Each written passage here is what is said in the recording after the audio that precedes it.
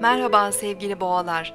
Sosyal yaşamın çekiminin artmaya devam edeceği bir gündesiniz. Arkadaşlarınızın bütün gün boyunca çevrenizde olmasını isteyebilirsiniz. Onlarla konuşmak, paylaşmak istediğiniz birçok şey olabilir.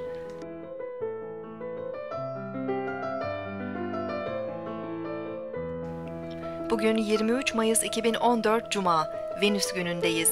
Balık burcunda ilerleyen ay, hayal gücü ve sezgilerimizi güçlendireceği için yaratıcılığımız öne çıkabilir.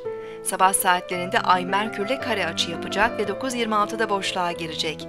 Zihinsel olarak herhangi bir konuya konsantre olmakta zorlanabiliriz ve kararsızlık hissedebiliriz.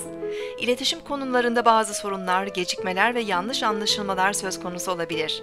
Gündüz saatlerinde yeni girişimler ve önemli işlerle ilgilenmek yerine günlük işlerimizle uğraşabiliriz.